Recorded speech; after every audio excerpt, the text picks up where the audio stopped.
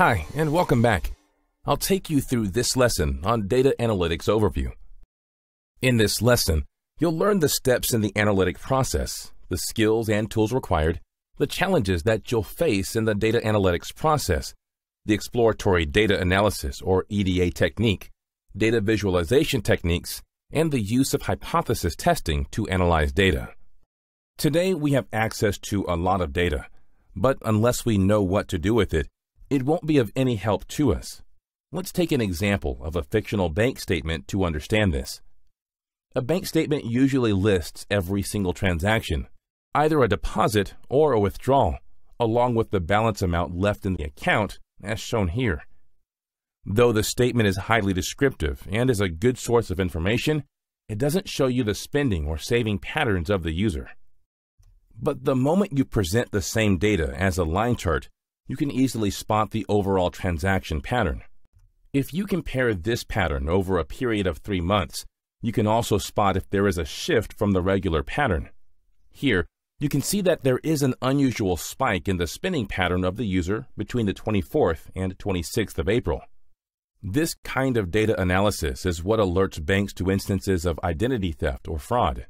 For e-commerce websites, analyzing buying patterns of users can help them understand what kind of customers are more likely to buy a certain type of product. This is how data analysis makes your data work for you. A bank statement is an example of a highly structured data set.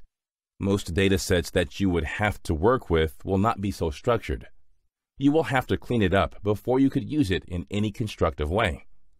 That's why data analytics involves a combination of processes to help you extract information from these datasets. Along with domain knowledge, you'll need programming, mathematical, and statistical skills to arrive at a decision-making process with the help of data. Data analytics is a step-by-step process to reach a conclusion. Let's look at these steps briefly. The first step in the process is to ask questions to identify the business problem. The next step is data acquisition, or collecting datasets related to the business problem or question from the real world. The third step comprises data wrangling, with data tools and modern technologies that include data cleansing and data manipulation. The next step is exploratory data analysis, or EDA, with mathematical or graphical output to aid data analysis. Data exploration is the next step that discovers data and identifies patterns in data.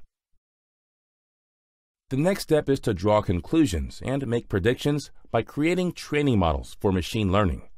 This step uses a lot of mathematical or statistical functions. The last step is communication or data visualization to present the analysis work.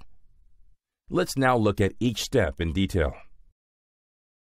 The process of analytics mostly begins with questions or business problems of stakeholders. Here are a few examples of questions. Who are my customers?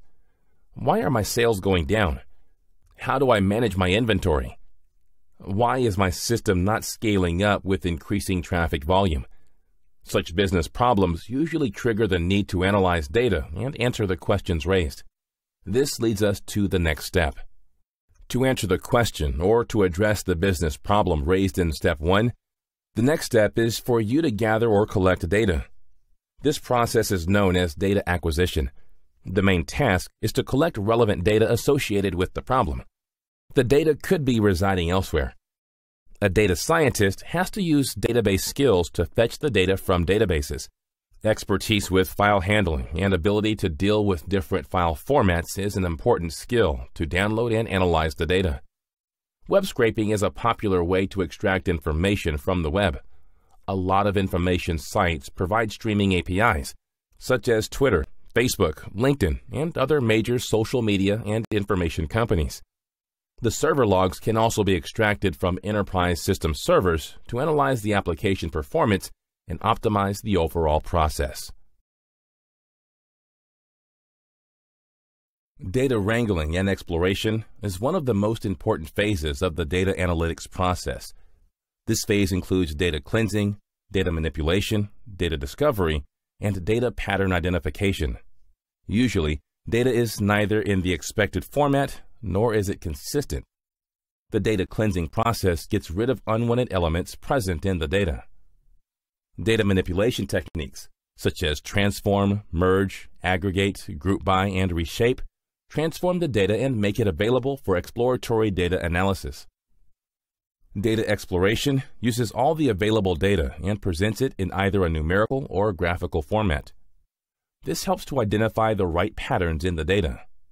The data and the underlying pattern are fed into appropriate machine learning models, leading directly to the prediction and conclusion phase.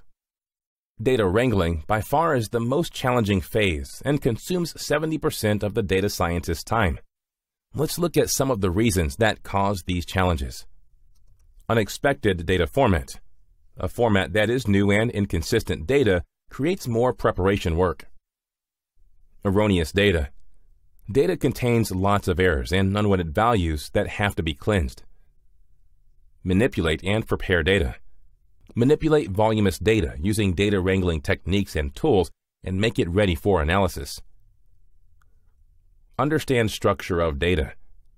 Understand how the data is organized in the first place, linear or cluster. Plot them if possible. Determine relationship of variables. Observation, feature, and response are keys and relationship between them must be determined. It's difficult to determine this relationship. Choose appropriate models. Model selection is based on the overall data analysis process to draw conclusions and make accurate predictions.